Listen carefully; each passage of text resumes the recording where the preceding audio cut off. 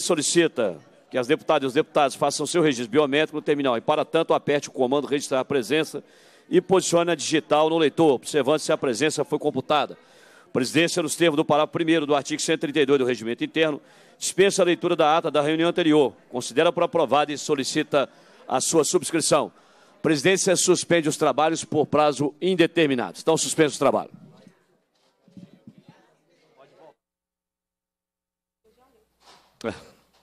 Presidência, na verdade, reabre os trabalhos da comissão. Esta reunião se destina a apreciar a matéria constante na pauta e a receber, discutir e votar proposições da comissão. A presidência informa recebendo as seguintes correspondências: e-mail do senhor Laires da Silva Lopes, encaminhando pelo portal Fala das Comissões, encaminhando solicitações com relação aos policiais militares veteranos que não têm porte de arma. Passa-se a segunda fase da ordem do dia e compreende a discussão e votação de proposições que dispensam apreciação do plenário. Sobre a mesa, requerimento 4.425-2023, em turno único, de autoria do deputado delegado Cristiano Xavier. Em votação, requerimento. Os deputados com aprovo permaneçam com 50 aprovado. Passa-se a terceira fase da ordem do dia, que compreende o recebimento, a discussão e a votação de proposições da comissão. Passa a presidência dos trabalhos ao deputado Cristiano Xavier para a leitura de requerimentos de minha autoria. Assuma a presidência e devolva a palavra ao deputado Sargento Rodrigues. Primeiro requerimento, seja realizada audiência pública para debater as circunstâncias que motivaram a transferência do terceiro sargento PM, Dadson Lemos Fial, do 36º BPM da terceira RPM em Vespasiano, para a 18ª RPM em Poços de Caldas, o ato de transferência do policial militar foi publicado no BGPM número 85, de 16 de novembro de 2023, nas páginas 26 e 27, sendo necessária a convocação da autoridade que assinou o ato para demonstrar a motivação do ato de transferência, qual a real finalidade do ato administrativo que, que transferiu o sargento Dadson Fiel de Vespasiano para Poços de Caldas. Deste modo, imprescindível a realização de audiência pública hora requerida, para a qual devem ser convocados a diretora de Recursos Humanos da Polícia Militar de Minas Gerais, a Coronel PM Silma Regina Gomes da Rocha Oliveira e o terceiro sargento Dadson Lemos Fial, convidando a participar da referida audiência o comandante-geral da Polícia Militar, o Coronel Rodrigo Piastro Nascimento.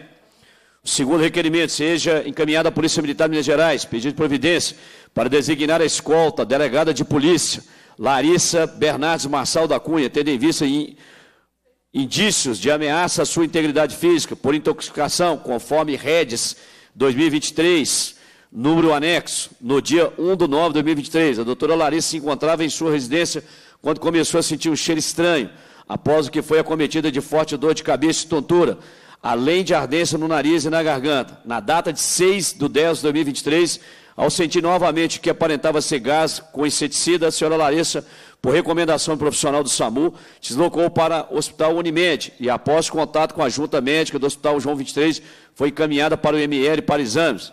No dia 7 de 10 de 2023, a delegada, quando deslocava com seu veículo particular, sentiu cheiro semelhante saindo do ar-condicionado do carro, que foi registrado o REDS, conforme o número anexo. Ressalta-se que a delegada de polícia Larissa Belo Fernandes Marçal da Cunha participou da, da 18ª reunião extraordinária dessa comissão, realizada em 7 de julho de 2023, com a finalidade de debater o gravíssimo caso de auto-extermínio da escrivã Rafaela Drummond. Também que seja realizada audiência pública para debater o substitutivo a ser apresentado ao então projeto de lei complementar 65, que altera a lei complementar 129 de 8 de novembro de 2013 que contém a Lei Orgânica da Polícia Civil do Estado de Minas Gerais, o qual seria fruto de consenso entre o governo, a chefia da instituição e sindicatos de, de entidades de classe. Para tanto, requer ainda que seja que cópia do substitutivo seja apresentada durante reunião pelo governo e ou chefia da Polícia Civil, caso citada proposição ainda não tenha sido encaminhada a essa comissão. Ressalta-se que o tema em questão foi objeto de discussão durante a audiência pública no dia 26 de setembro de 2023, quando aprovados os requerimentos 4368, 4373, 4374, em resposta aos quais prestadas as seguintes informações. Ao requerimento 4368, a chefia da Polícia Civil presta o seguinte esclarecimento. Foi encaminhada à Secretaria-Geral em 26 de setembro de 2023, o ofício 003-2023, subscrito por todos os membros do Conselho Superior da Polícia Civil, enviando o documento da lavra das, das entidades de classe, concernentes ao projeto de lei complementar 64, que contém o Estatuto Disciplinar, e o projeto de lei complementar 65, que modifica a lei orgânica da Polícia Civil do Estado de Minas Gerais. Nessa esteira, cumpro ressaltar que a chefia da PCMG reafirma a necessidade de modernização dos processos institucionais, principalmente no que tange à estrutura organizacional e à valorização dos servidores, e reconhece a participação das entidades sindicais representativas das carreiras policiais no processo. A presidência informa também que outros requerimentos foram encaminhados à Secretaria de Governo e CEPLAC. No entanto, até o presente momento, não se tem notícia do encaminhamento do substitutivo a consenso entre os sindicatos, a chefia da Polícia Civil, para que o PLC 65 possa prosperar é, e andar nessa casa conforme a necessidade da instituição e acordo entre os sindicatos. Esses são os requerimentos, presidente.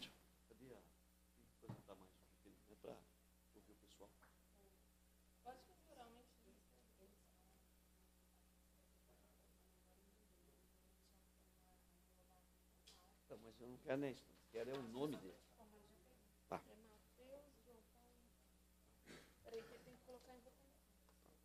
Em votação, os deputados que o aprovam permaneçam como se encontram. Aprovado. Presidente, pela ordem, é, mais um requerimento.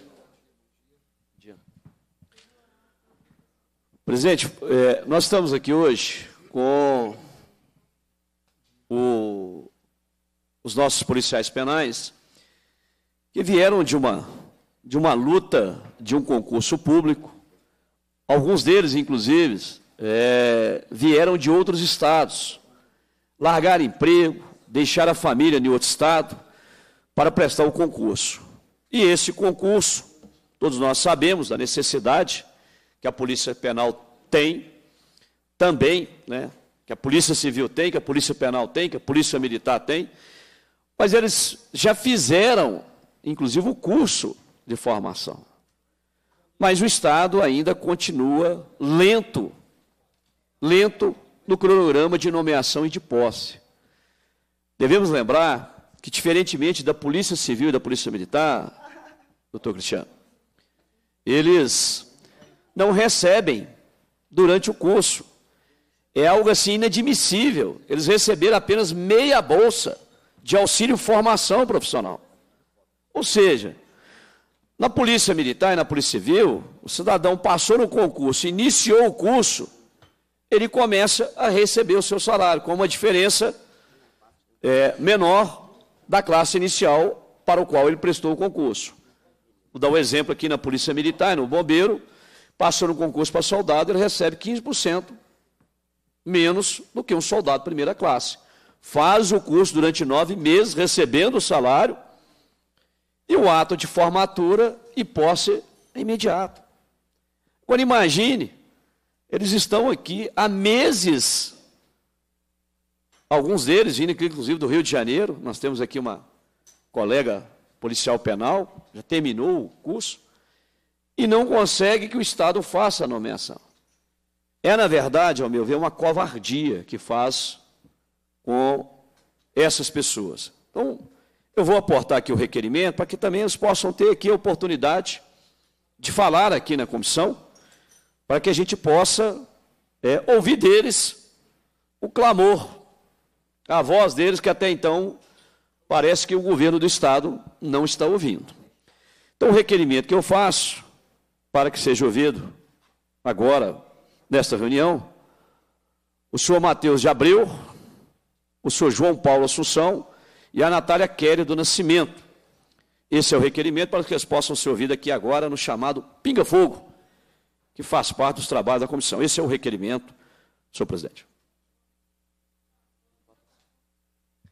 Em votação, os requerimentos, deputados que o aprovam permaneçam como se encontram. Aprovados. Devolvo a palavra ao deputado Sargento Rodrigues. Quero registrar e agradecer a presença do Mateus de Abreu, do João Paulo Assunção, da Natália Quero do Nascimento, até porque, até comentei com o deputado Cristiano Caporeso, vocês também estão acompanhando a nossa luta aí em relação ao regime de recuperação fiscal. Né? E às 10h30 nós teremos uma outra batalha a ser travada. Se aprovado o regime, eu tenho dito até aos policiais civis, militares, que me acompanham pelas redes sociais, falou, ó, se aprovar o regime, a própria carreira de vocês amanhã já está estagnada. Vocês já entram com congelamento de salário de nove anos. Né? Ou seja, vem para um lugar achando que vai ter uma carreira tranquila, por isso que eu tenho dito para vocês, né? nós temos concentrado os nossos esforços em obstruir o projeto, enquanto a negociação em Brasília possa avançar, e acredito eu, graças a Deus, as sinalizações são as melhores possíveis. Me parece que hoje, ainda, a peça que está sendo construída entre o Estado e a União será apresentada ao Supremo como fruto de um entendimento para que o prazo da liminar de 20 de dezembro possa ser prorrogado por mais seis meses. E aí, deputado Cristiano, Caporeso e Eduardo Azevedo, aí nós não temos pressa mais com o regime, enquanto isso as tratativas internas entre União e Estado podem prosseguir e a gente conseguir avançar na negociação sem o, famigerado né, regime de destruição de carreira de servidores públicos. Vou, obviamente, por uma questão de né, de preferência, obviamente. Nós vamos passar a palavra à Natália Kelly do Nascimento. Natália, você fala o seu nome completo, o cargo, como é que foi a, a, a, quando é que você fez o curso, qual turma que é e as suas expectativas. Bom, o microfone mais próximo de você. Olha. Bom dia, eu agradeço a oportunidade. Meu nome é Natália Kelly do Nascimento. Faz um eu... favor para mim, Natália. Senta na outra cadeira, que aí você consegue puxar o microfone. Por favor. Ajusta aí, Flávio. Eu sou do grupamento 2 do rep, curso. Rep, inicia novamente. Natália Kelly Nascimento. Senhora tem a palavra. Bom dia, eu agradeço a oportunidade. Meu nome é Natália Kelly do Nascimento. Eu sou do grupamento 2 do curso de formação da Polícia Penal. Eu estou formada desde outubro eu me submeti a um curso de dedicação exclusiva, precisei abandonar o meu emprego em busca do meu sonho e eu estou desempregada desde então. Recebi uma bolsa de 2.200 e 2.200 reais aproximadamente. É, nos encontramos dois, mais de 2.400 policiais formados.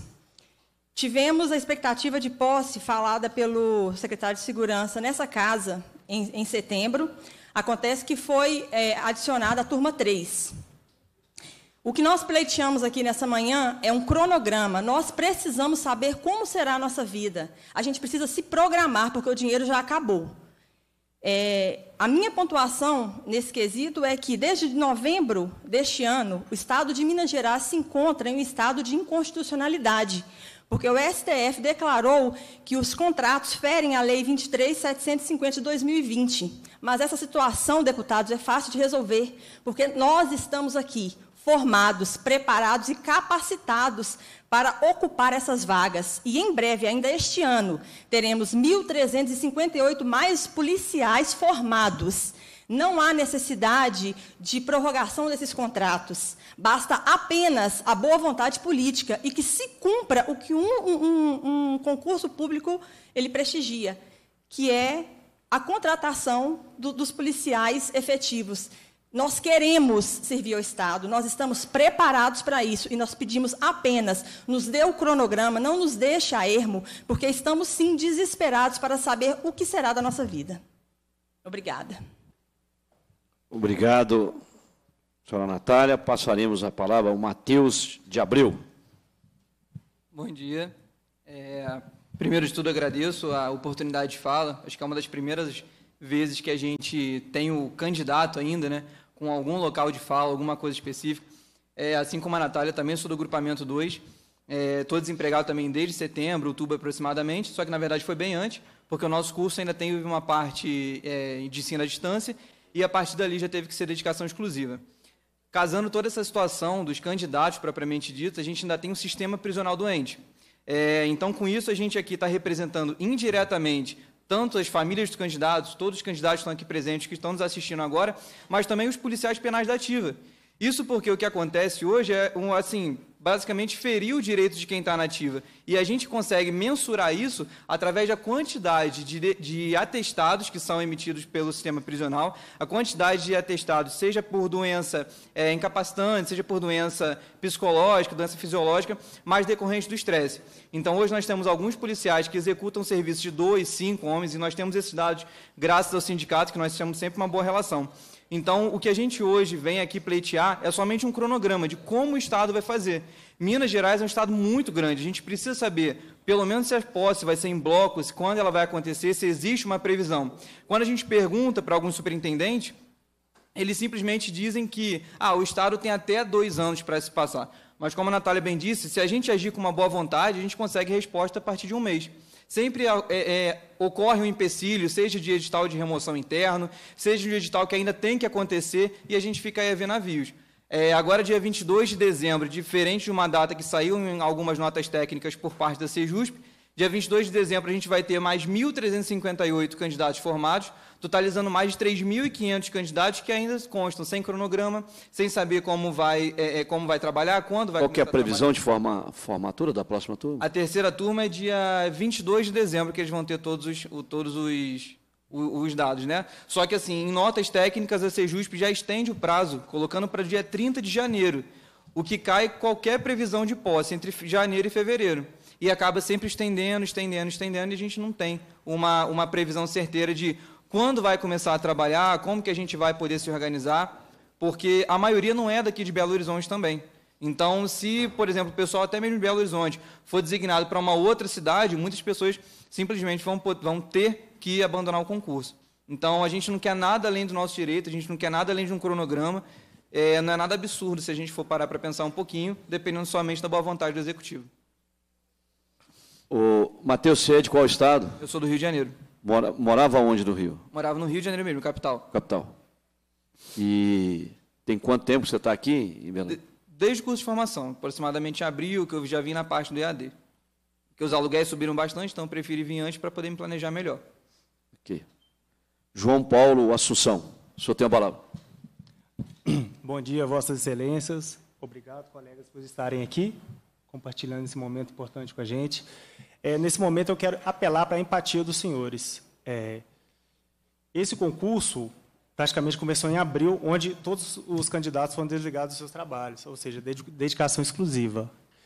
Nesse sentido, pasmem, sobreviver quatro meses com uma bolsa de R$ 2.268 em Belo Horizonte, complicado.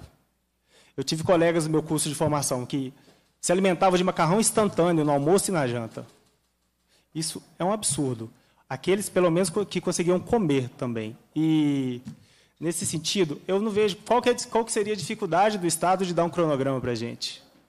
O que há de tão difícil nisso são datas para a gente poder se programar. Porque você fica naquela expectativa de almejar o seu cargo e ter a sua nomeação e não consegue. Entendeu? Então, assim, os colegas já deixaram bem claro tudo aquilo que a gente queria explanar e eu não vou tomar tanto tempo dos senhores. É isso. Obrigado. Você é de, de Belo Horizonte mesmo, João Paulo? Sou de, sou de Viçosa, Minas Gerais. Viçosa. Zona da Mata Mineira. E a Natália? Eu sou de Belo Horizonte. E cadê a outra colega do Rio de Janeiro? Ah, ela está lá, né? Tá bom. Tem mais de outros estados aqui? Qual estado? Paraná. Paraná. São Paulo. Bom, então nós temos gente aqui do Paraná, do Rio de Janeiro, São Paulo. Difícil demais, né? 2.268 a Bolsa Auxílio de Formação, doutor Cristiano. Isso foi pago quando? Bem atrasado. Foi bem atrasada a bolsa. A bolsa, para algumas pessoas do meu grupo, é, não, foi pago. A comissão teve que cobrar. Nós aprovamos o requerimento aqui, nós cobramos.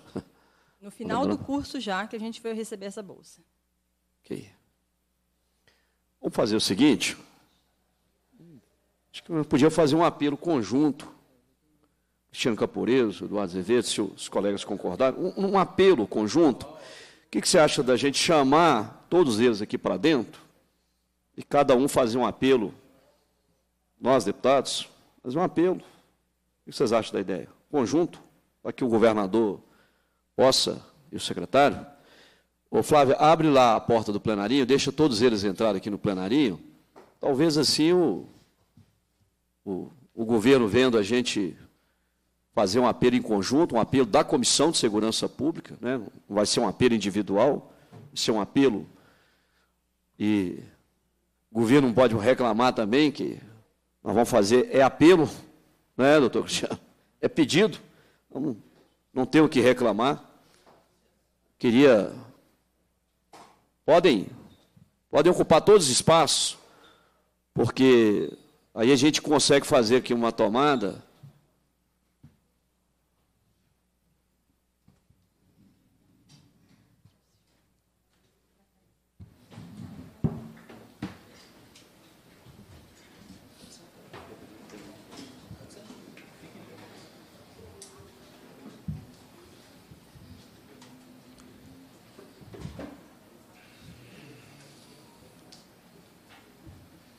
pedir à consultoria, que também elabora um requerimento, fazendo um apelo ao governador Romeu Zema, né, ao governador Romeu Zema, à CEPLAG e ao secretário de Planejamento e Gestão, né, para que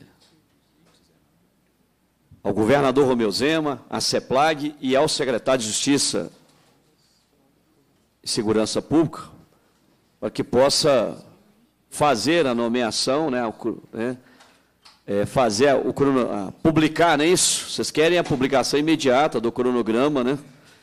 Porque nem isso vocês estão tendo, né? Nem, nem a expectativa de saber qual a data. Pode, pode falar no microfone. Então, senhor, a turma 1 começou em. O nome? Tem que identificar. Meu nome é Cláudia Cristina Correia Cessa, sou do Rio de Janeiro, sou da turma 1 e nós começamos em abril com dedicação exclusiva. Teve colega da minha turma que veio do Pará com a família, com dois filhos, e durante o curso de formação ele teve que cortar o cabelo dos amigos para poder ganhar um ganha-pão, para poder pagar aluguel para poder manter dois filhos, inclusive um bebezinho. E durante a turma 2, ele vendeu pastel, porque ele veio, porque nós tivemos o, o secretário, ele veio aqui falando que a partir de setembro começariam as nomeações. Então, todos nós viemos já com o intuito de ficar em Belo Horizonte, de ficar em Minas Gerais. Então, abandonamos tudo. Inclusive, abandonamos família, então, estamos, assim, à mercê do Estado. A gente está sem perspectiva de vida, sabe? E isso é muito ruim. É, passar necessidade não é fácil e a gente está aprovado em tudo. Tivemos retafe, tivemos que fazer dois TAFs para chegar até aqui.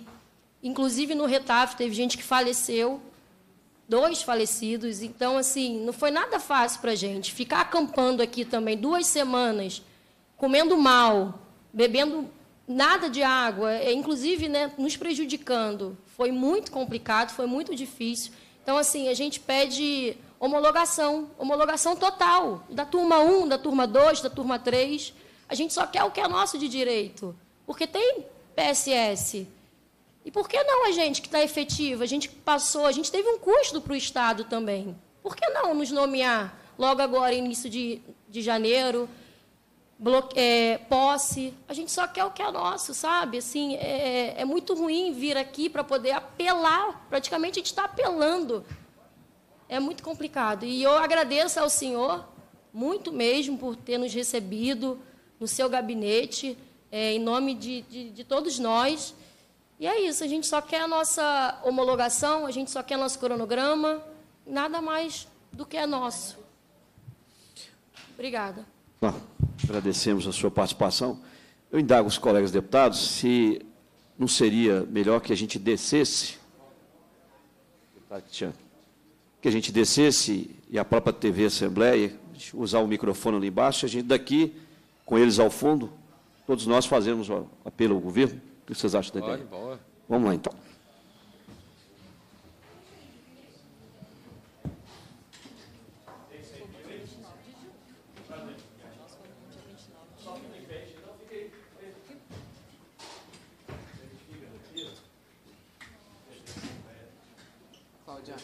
Cláudia. Está preparando aí? Só lembrar o deputado que tem formadas desde julho já. Deputado, só, é, só para lembrar o senhor, tem candidato que já está formado desde julho. É a turma 1, né? Essa noite foram 11 horas viajando, já está aqui agora. Volta hoje para São Paulo. Vamos lá? Para pedir o grupo de Vamos lá. Bom, Comissão de Segurança Pública, nós vamos fazer um formato aqui hoje diferente.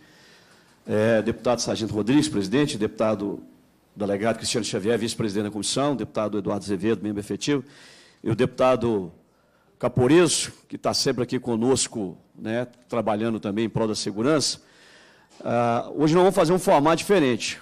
Nós estamos aqui com as turmas, né, as turmas que formaram na Polícia Penal, estão em, em Minas Gerais, em Belo Horizonte, desde abril, solicitando ao governo agora que faça a homologação em posse, o mais rápido possível.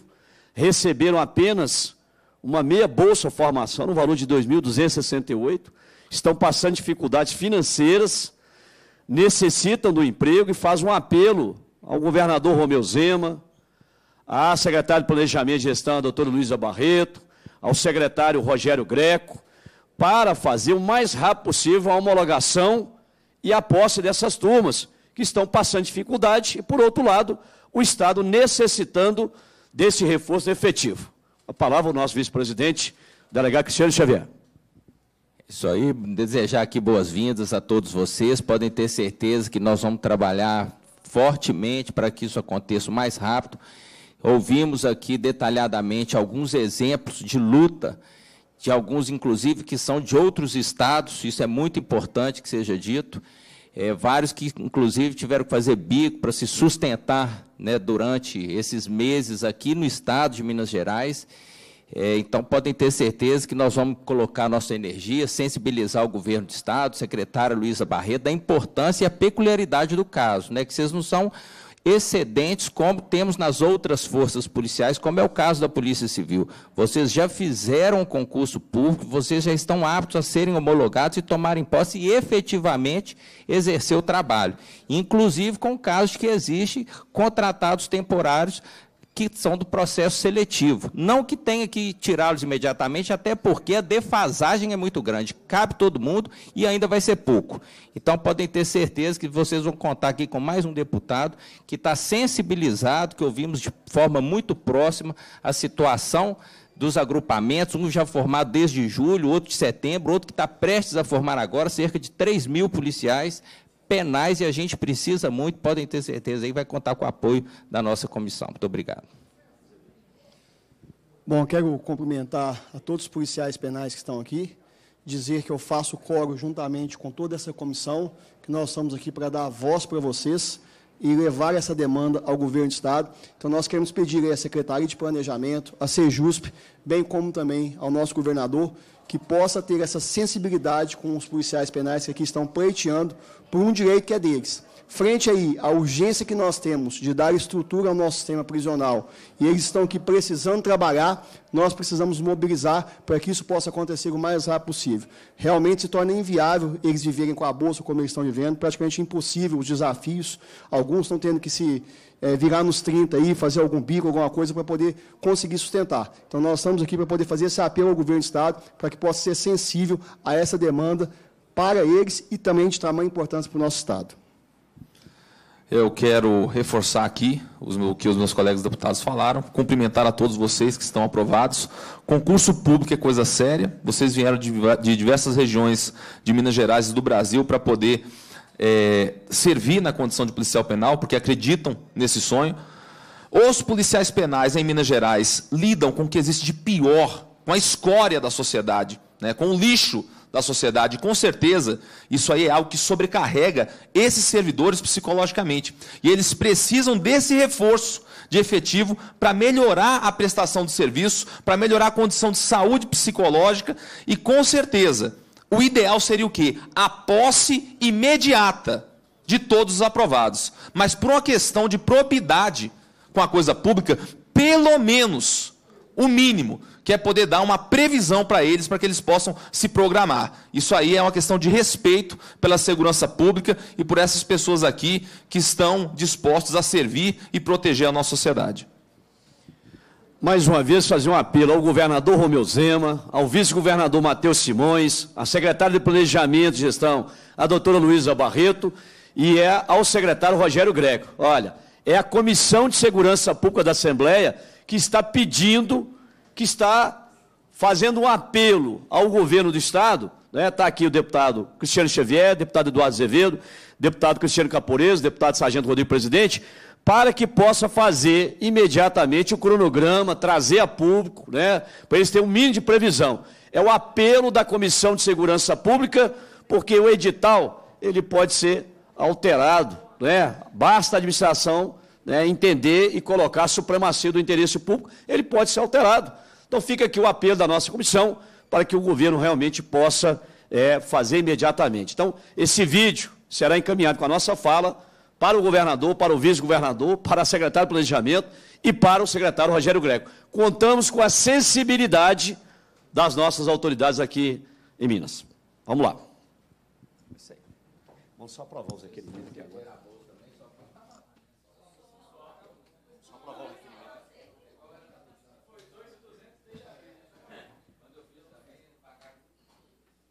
Aí o requerimento? Vamos só aprovar os requerimentos aqui para mais uma vez, né? Nós já tivemos feito, fizemos um. Viu, Cristiano? Vamos fazer aqui o, o novo requerimento, são dois requerimentos, que é assim nos quatro deputados. O primeiro requerimento seja encaminhado ao governador de Minas Gerais, secretário de Planejamento e Gestão, e a Secretaria de Justiça e Segurança Pública, ser justo, pedir providência para que sejam adotadas medidas cabíveis visando a homologação e a publicação imediata de um cronograma para a nomeação dos candidatos ao concurso público da Polícia Penal, considerando que há muitos já concluíram o curso de formação e a etapa do referido concurso, e ainda que a instituição sofre com grande déficit. Então, esse aqui é o primeiro requerimento.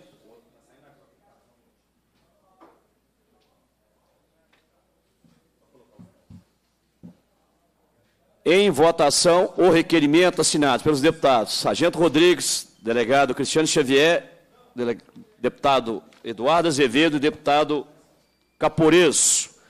Senhores deputados que o aprovam, permaneçam como se encontram. Aprovado. O segundo requerimento, na mesma esteira que eu estou sugerindo, é para que, caso a gente não tenha uma resposta, a gente provoque aqui uma audiência pública e a gente pode convocar todos os, os é, policiais penais que estão aguardando. Segundo requerimento, os deputados que subscrevem. Minha caneta.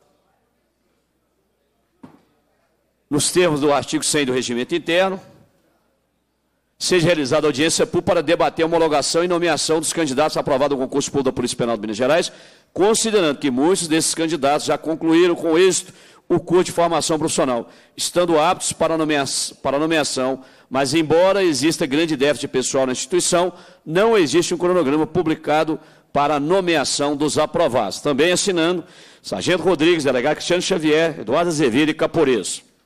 Em votação, requerimento, senhores deputados que o aprovam permaneçam com cinco anos. Aprovado.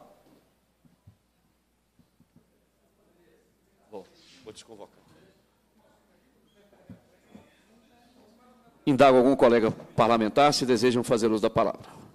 Não. Cumprida a finalidade da reunião, a presidência agradece a presença dos parlamentares, convoca os membros para a próxima reunião ordinária, desconvoca a reunião prevista para as 11h30 horas, determina a lavatura da ata e encerra os trabalhos. Muito obrigado.